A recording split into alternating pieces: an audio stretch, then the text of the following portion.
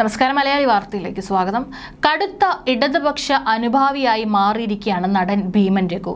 ഒരുപക്ഷെ ഇത്രയും കാലമായിട്ട് വിദ്യാർത്ഥി സംഘടനകൾ മുതൽ തന്നെ പാർട്ടിയിൽ പ്രവർത്തിച്ചു വന്നവർക്ക് പോലും ഒരുപക്ഷെ ഇത്രയും ആത്മാർത്ഥത പ്രസ്ഥാനത്തിനോട് ഉണ്ടായെന്ന് വരില്ല. അങ്ങനെയാണ് ഭീമൻ രഘുവിന്റെ പല കാട്ടിക്കൂട്ടലുകൾ കാണുമ്പോൾ തോന്നുന്നത്. സംസ്ഥാന ചലച്ചിത്ര പുരസ്കാര വിതരണ ചടങ്ങിൽ മുഖ്യമന്ത്രി പിണറായി വിജയൻ പ്രസംഗിക്കുമ്പോൾ എഴുന്നേറ്റ് നിന്ന് ആദരവ് പ്രകടിപ്പിച്ചും ഭീമൻ രഘു വാർത്തകളിൽ നിറഞ്ഞിരുന്നു. ഇപ്പോൾ തന്റെ പുതിയ സിനിമയായ മിസ്റ്റർ ഹാക്കറിന്റെ പ്രൊമോഷൻ പരിപാടിക്കും പാർട്ടി കൊടിയുമായി എത്തിയ രഘുവിന്റെ വീഡിയോ സമൂഹ മാധ്യമങ്ങളിൽ പ്രചരിക്കുന്നുണ്ട്. മുഖ്യമന്ത്രി എന്ന നിലയിൽ ആദരവ് പ്രകടിപ്പിച്ച് എഴുന്നേറ്റതാണ്. പിറകിലിരിക്കുന്ന ആളുകളോട് ചോദിച്ചിട്ടാണ് താൻ എഴുന്നേറ്റ് നിന്നത്. പതിനഞ്ച് മിനിറ്റും ആ പ്രസംഗം നിന്ന് കേട്ടു. എന്റെ സംസ്കാരമാണ് ഞാൻ അവിടെ കാണിച്ചത്. ബഹുമാനിക്കേണ്ട ആളെ ബഹുമാനിച്ചു. സോഷ്യൽ മീഡിയയിലെ വിമർശനങ്ങൾക്ക് വില കൽപ്പിക്കുന്നില്ല. പിണറായി വിജയൻ ഒരു നല്ല മനുഷ്യനാണ്. അദ്ദേഹത്തെ പണ്ട് മുതലേ ഞാൻ ബഹുമാനിക്കുന്നുണ്ട്. അതെന്റെ സംസ്കാരത്തിൽ നിന്നും പഠിച്ചതാണ്. പല രാജ്യങ്ങളിൽ നിന്ന് പോലും എന്നെ വിളിച്ച് അതൊക്കെ ട്രോളുകൾ കൊണ്ട് സംഭവിച്ചതാണ്. എനിക്ക് അതിൽ ഒരു വിരോധവുമില്ല. അത് അവരുടെ സംസ്കാരം. എനിക്ക് സ്ഥാനാർത്ഥിയാകണമെന്ന ആഗ്രഹമൊന്നുമില്ല. പക്ഷേ പാർട്ടി പറഞ്ഞാൽ ഞാൻ നിൽക്കും. ബി ജെ പിയിൽ ഉണ്ടായിരുന്ന സമയത്ത് ഒരു നേതാവ് പോലും ഫോൺ എടുക്കാറില്ല.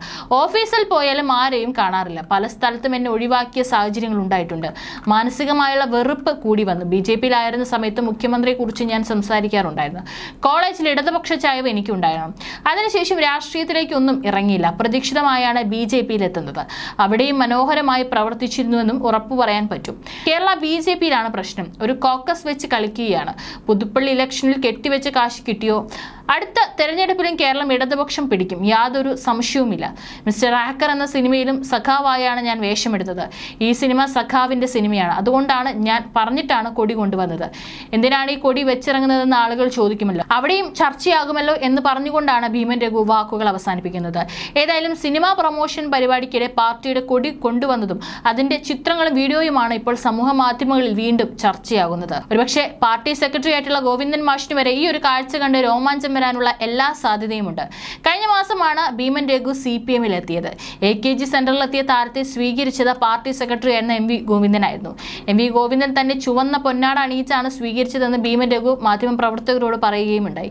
മന്ത്രിമാരായ വി അബ്ദുറഹ്മാനും ശിവൻകുട്ടിയും ഈ സമയം എ കെ ജി സെന്ററിൽ ഉണ്ടായിരുന്നു ചിന്താശേഷിയുള്ളവർക്ക് ബി ജെ പിയിൽ പ്രവർത്തിക്കാൻ കഴിയില്ലെന്നും കഴിവുകൾ പ്രകടിപ്പിക്കാനുള്ള അവസരം ബി ജെ പി തരുന്നില്ല എന്നാണ് ഭീമൻ രഘു ബി ജെ പിയെ കുറ്റപ്പെടുത്തിക്കൊണ്ട് സംസാരിച്ചത്. എ കെ ജി സെന്റർ സന്ദർശിച്ച ശേഷം പുറത്തിറങ്ങിയതും ചെങ്കൊടി പുതച്ച് സഖാക്കളെ മുന്നോട്ടെന്ന പ്രശസ്തമായ ഗാനവും ആലപിച്ചുകൊണ്ടായിരുന്നു. സംസ്ഥാന സെക്രട്ടറി ഗോവിന്ദൻ മാസ്റ്റർ തന്നെ സ്വീകരിച്ചത് ഒരു സുഹൃത്തിനെ എന്ന പോലെ ആയിരുന്നുവെന്നും മൂന്നാം പിണറായി സർക്കാർ വരുമെന്നാണ് അന്ന് ഭീമൻ രഘു പ്രതികരിച്ചത്. പറയാനുള്ളത് മുഖത്തു നോക്കി പറയുന്ന ആളാണ് മുഖ്യമന്ത്രിയെന്നും ഭീമൻ രഘു അന്ന് പറഞ്ഞിരുന്നു.